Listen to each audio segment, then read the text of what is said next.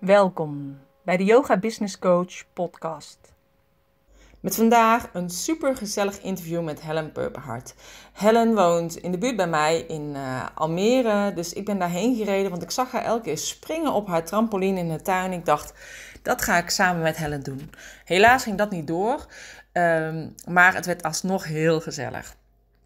Helen is al jaren Leidse kinderyogadocenten op en ze doet het op haar eigen speelse manier, maar wel heel erg praktisch. Ze heeft natuurlijk al superveel boeken geschreven, spelkaarten geschreven en uh, ze is nu ook helemaal into de Kundalini yoga en daarom ook uh, Kundalini kinderyoga.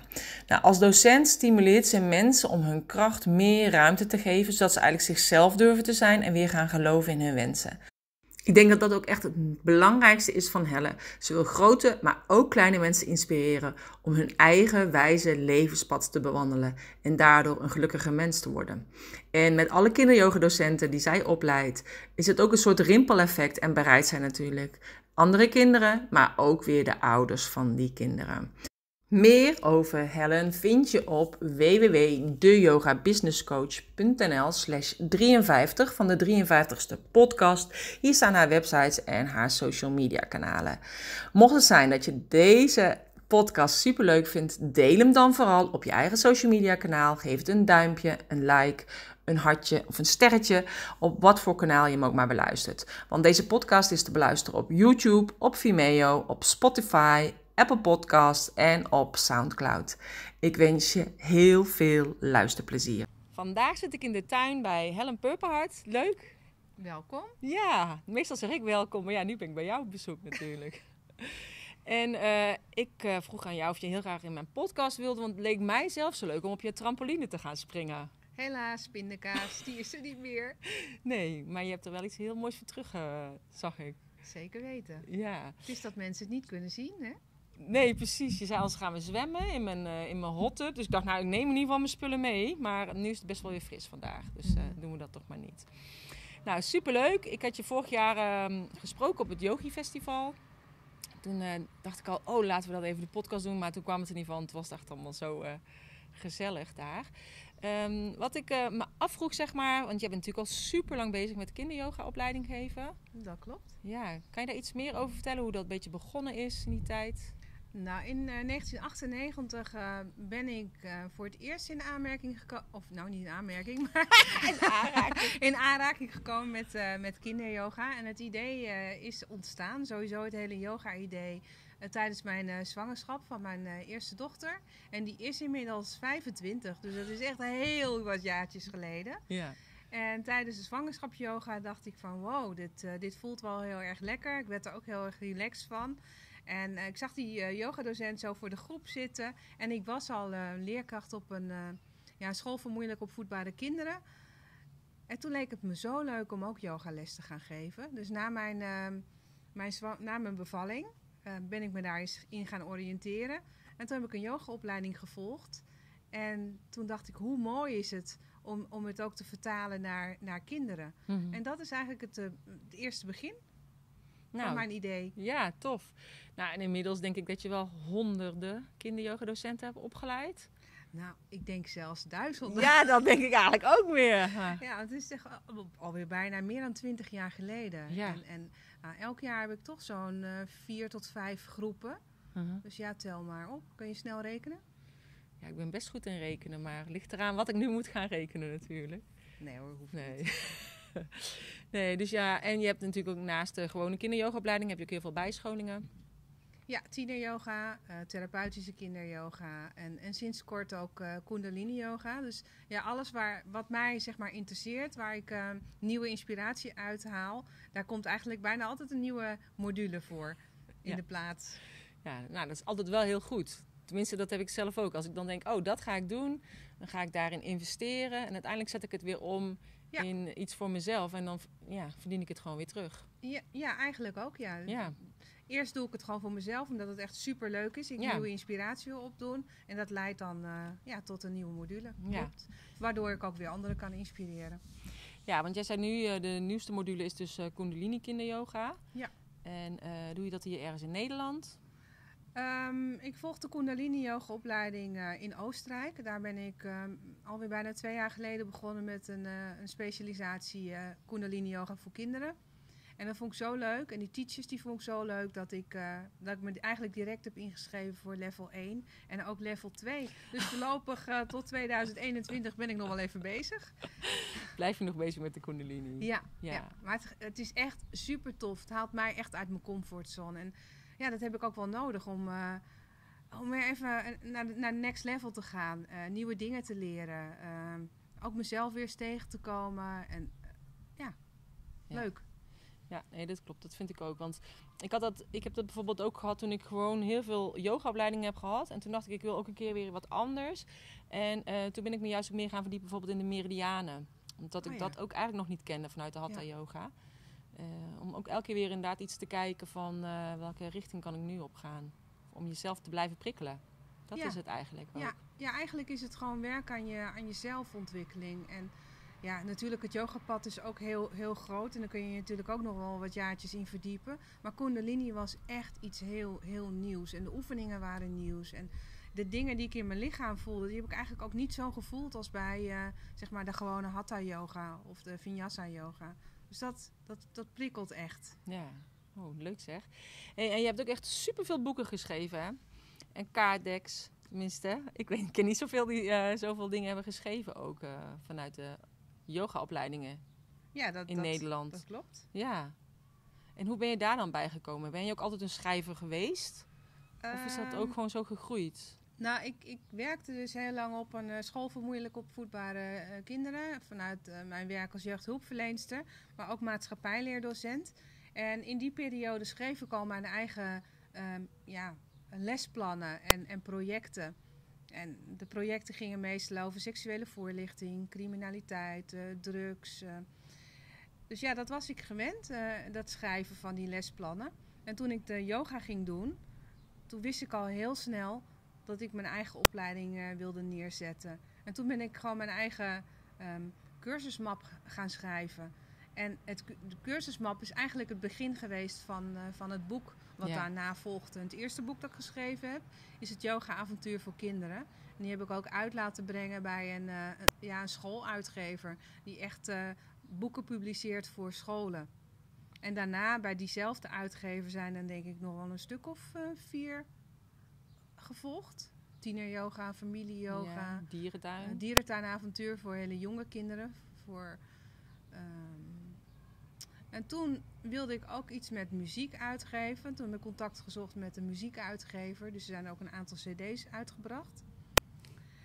En toen kwam ook het idee om kaarten uit te geven. Want dat was er nog niet in Nederland. Gewoon heel handig. Van die, van die kaarten waar alleen maar asana's of houdingen op staan. Ja. En kaarten waar alleen meditaties op staan ja, toen ben ik in- contact gekomen met een uitgever die dat uitgeeft. En, en zo is dat eigenlijk ontstaan. Mhm. Ja, want met die cd's, die draaide ik vroeger dus eh, bij mij bij de kleuters. Oh, echt? ja, dus toen ik les gaf bij de kleuters, toen eh, eh, deed ik vooral op donderdag. Donderdag was natuurlijk altijd best wel een, een drukke dag voor de kinderen, want dan zijn ze eigenlijk moe. Op vrijdag dan is het einde van de week en dan ja, zetten ze zich vaak over die vermoeidheid heen. Zondag was altijd een beetje, dan waren ze het meest druk, zeg maar. En vooral dan na de pauze. De meeste kinderen bleven dan ook over. En eh, ja, in het begin, kijk, daarna deed ik natuurlijk wel eigen geleide visualisaties. Maar in het begin, toen ik nog helemaal geen kinderyoga-opleiding eh, had gedaan, deed ik dus jouw cd opzetten. En toen had je het oerwoudavontuur. Ja, volgens mij wel. En het grappige was, ik had echt één kleutertje. Ja, inmiddels is hij natuurlijk ook al 18 of zo, die jongen. Maar eh, die zat zo en die, die viel helemaal in slaap. Die viel helemaal zo Oh, om, zo poef. Ja, dacht ik, oh gossie, ze zijn soms echt moe. En ehm, ja, en toen dacht ik ook van, ja, ik wil heel graag eh, inderdaad een kinderyogaopleiding. eh, Naar aanleiding van die cd? Of Nee, van de cd's, maar ik had zelf al een yogaopleiding gedaan. Dus ik deed heel veel in de, in de speelzaal met Oké. hun. En eh, nou ja, toen ben ik dus de kinderyogaopleiding gaan doen. En ehm, ja, toen dacht ik, oh, het is gewoon veel meer dan alleen maar houdingen. Of, En daar daar vergissen heel veel mensen ja. in. Die denken dat van, had oh ik ja, niet in de gaten. Dat klopt. Want je krijgt natuurlijk ook met eh, gedrag te maken van Ja. kinderen. En, en nieuwe inspiratie, eh, de groepsdynamiek. Eh. ja, het is niet alleen de houding, ook de meditatie, de massage. Ja, massages, maar ook zintuigoefeningen of uh, luisteroefeningen. Dat je even luistert gewoon naar uh, triangel, hadden we dan in de klas bijvoorbeeld. Of, uh, of ik nam een klankschaal mee, dat ze alleen al de trillingen voelden van de klankschaal. Dat zijn gewoon echt al dingen die ze echt heel erg leuk vonden. Maar daar had ik van tevoren helemaal niet bij stilgestaan om dat te kunnen doen. Nee. Dus en um, ja, en dat is natuurlijk ook het idee wat je dan hebt van, oh je gaat dan houdingen doen. Nou, houdingen zijn natuurlijk maar, maar het is een, veel, een, ja, een een klein, klein onderdeel. stapje. Ja, dat is, naar het achtvoudige pad van Patanjali, Ja. dan is dat maar één stap op dat Ja. pad. En de rest gaat allemaal over meditatie en over bewustwording en over voelen. Ja. En, en ja, lichaamsbewustzijn vergroten. ja, en dat deed ik wel al bij de volwassenen. Maar met, door juist die kinderyoga, door dat te leren, ben ik ook meer thematisch gaan lesgeven. Eh, inderdaad voor de kinderen dan, omdat dat geleerd werd. Maar ook eh, met de volwassenen ben ik dat toen meer gaan doen. Dus allemaal wel dankzij de kinderyoga. Ah, leuk. En, en Ja. ik denk dat ook ehm, jouw lessen speelse zijn geworden en wat luchtiger. Ja. Ja. Want dat is wat, wat, waar kinderyoga ook vooral om gaat. Dat het niet zo strak is en zo statisch Ja. en zo serieus. Ja. Ja, en met kleuters is het sowieso, weet je, je- ik was natuurlijk al gewend dat kleuters op een bepaalde manier reageren of, eh, of eh, jonge kinderen.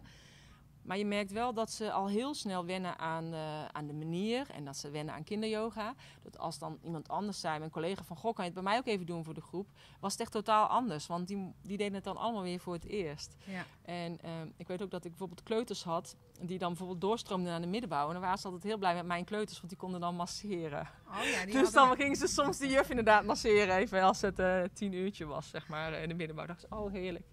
We hebben een kleuter van Corine, die weet hoe die dat moet doen. Ja, die kan zelf wel voor de groep gaan staan. Ja. Dat zijn eigenlijk de, de yogaleraren van de toekomst. Ja, precies. Dus eh, nee, heel leuk. Dus, en, ehm, dus jij bent nu zeg maar meer gaan ontwikkelen richting de Kundalini. Dat ga je dus ook doen voor de kinderyoga. Heb je nog meerdere grootse plannen? Of denk je nou, dit is voorlopig voor nu wel even voldoende? Nou ja, dat Kundalini, eh, daar ben ik voorlopig nog wel even mee, eh, mee bezig. Want het zijn vrij intensieve weken. En eh, de opleiding doe ik in Oostenrijk. En ja, dus voorlopig heb ik even geen andere opleiding of wat dan ook ertussendoor. Ik focus me nu daarop. En verder, mijn opleidingen, die starten dan weer in het najaar. Mhm. Dus ja, Nou, dus je blijft in ieder geval altijd wel bezig. En ehm, kijk, jij, ik zie jou dus heel vaak springen, hè, bijvoorbeeld op die trampoline, die er dan dus nu niet meer is. Helaas. volgens mij mis jij de Ja, trampoline Ik, echt, wilde, hè? ik kwam Je voor de Je trampoline. bent echt een beetje teleurgesteld dat hij er niet meer is. Nee, dus ik zie jou springen op de trampoline of soms in plassen water en zo.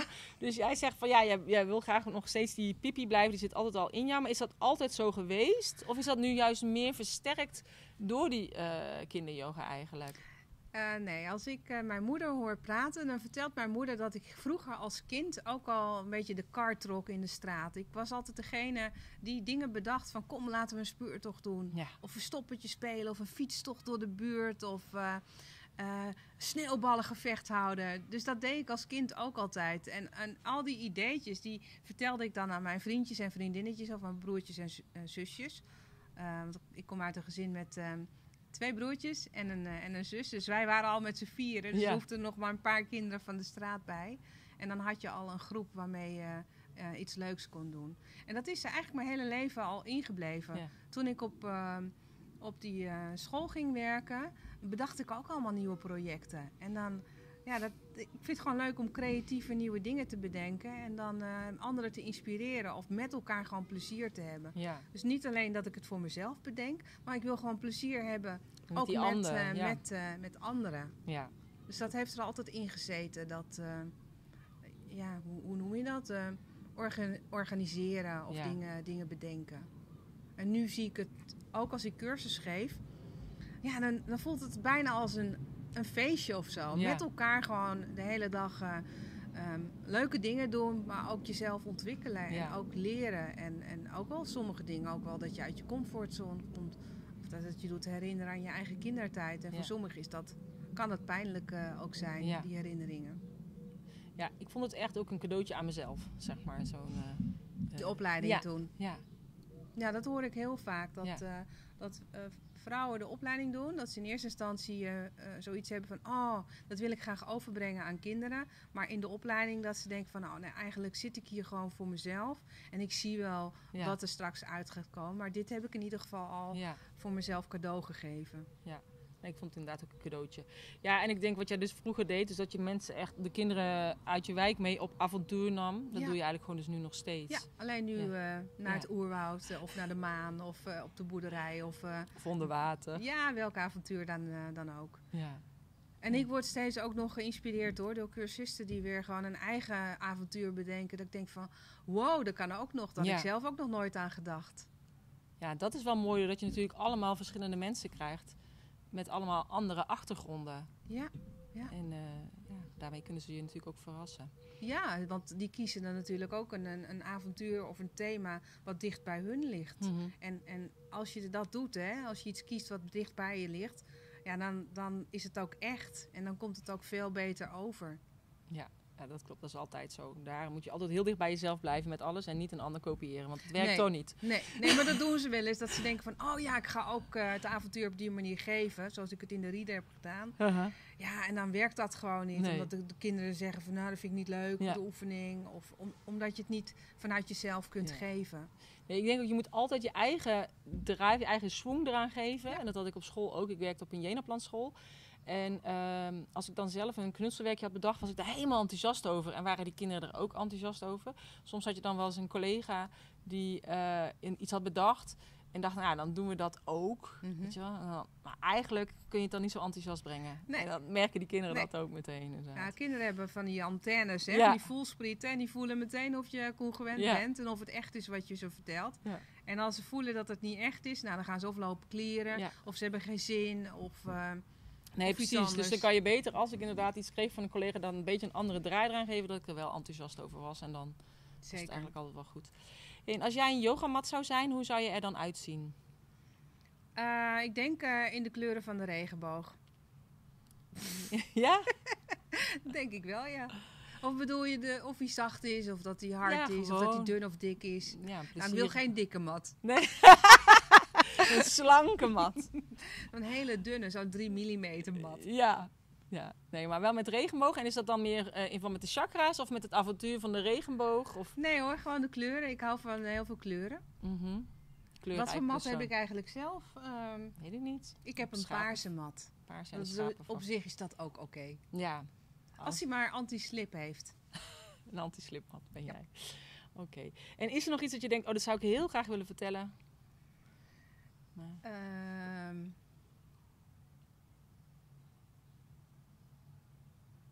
je bedoelt ook een boodschap meegeven ja, aan de dus je denkt, oh, dat wil ik nog heel graag doorgeven. Of dat ben je vergeten te vragen. Ja, nou ja, ik werk, heel erg met, uh, met innerlijk kind met, uh, met cursisten.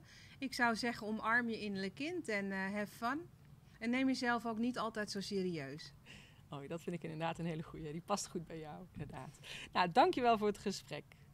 Ja, dankjewel. Ik vond het uh, erg gezellig. Ja, ik ook. En wel jammer van die trampoline. Ja, ik vind het jammer. Nou, we kunnen wel straks even op de bank gaan springen. Oh ja, dat is ook leuk. Doen we dat. Oké, doei doei. Doei. Ha, vond je het nou ook leuk? En uh, vraag je je nu af, hebben ze nou wel of niet op de bank gesprongen? Nou, dat weten alleen Helen en ik natuurlijk. Maar mocht je het uh, gezellig gevonden hebben, deel dan deze podcast zodat ook anderen het kunnen beluisteren. Of geef het een like, een sterretje of een hartje of wat dan ook. En ik wens je een hele fijne dag en bedankt voor het luisteren.